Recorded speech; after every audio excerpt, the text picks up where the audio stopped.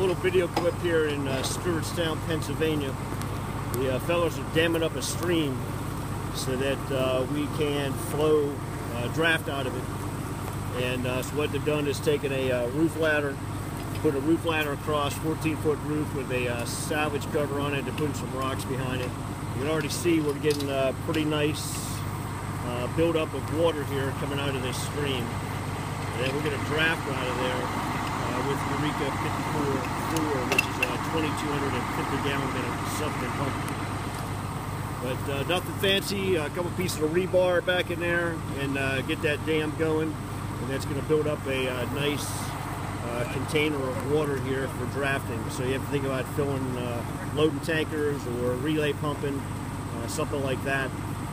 Uh, this works out really well. Not something you do often, but it is a way when you have a, uh, a good stream uh, or even a marginal stream that you need to get some uh, water uh, built up so that you can draft.